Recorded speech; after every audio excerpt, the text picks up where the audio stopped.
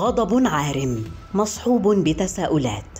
هذا هو حال المسؤولين في جيش الاحتلال بعد القرار الأمريكي بفرض عقوبات ضد وحدة عسكرية إسرائيلية تسمى نتسح يهودا بسبب انتهاكاتها لحقوق الإنسان ما ينذر بتصاعد الخلاف بين واشنطن وتل أبيب بشكل غير مسبوق. العقوبات الأمريكية المرتقبة ستمنع الكتيبة واعضائها من تلقي أي نوع من المساعدة أو التدريب العسكري الأمريكي وهي المرة الأولى التي تفرض فيها الولايات المتحدة عقوبات على وحدة عسكرية إسرائيلية. في أول رد فعل على العقوبات الأمريكية المرتقبة قال رئيس الوزراء بنيامين نتنياهو إنه يجب عدم فرض عقوبات على الجيش الإسرائيلي وأن حكومته ستعارض مثل هذه الإجراءات بكل الوسائل المتاحة لها.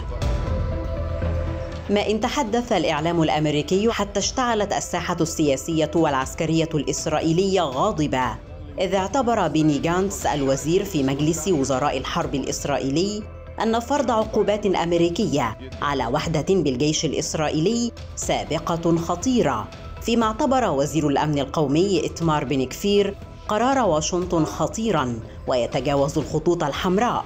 أما وزير المالية الإسرائيلي بتسلئيل سموتريتش فاعتبره جنونا مطلقا ومحاولة لفرض دولة فلسطينية. الغضب الأمريكي من نتسح يهودا جاء عقب طلب واشنطن عدة مرات من الحكومة الإسرائيلية معلومات عن التحقيق في هجمات الكتيبة على الفلسطينيين في الضفة إلا أن هذه النتائج دوما كانت غير مرضية بالنسبة لواشنطن. القرار الأمريكي الخاص بالكتيبة الإسرائيلية يأتي بعد إعلان الاتحاد الأوروبي فرض عقوبات على أربعة أشخاص وكيانين هما لاهافا وشباب التلال. بسبب أعمال العنف التي يمارسها مستوطنون إسرائيليون ضد فلسطينيين في الضفة الغربية.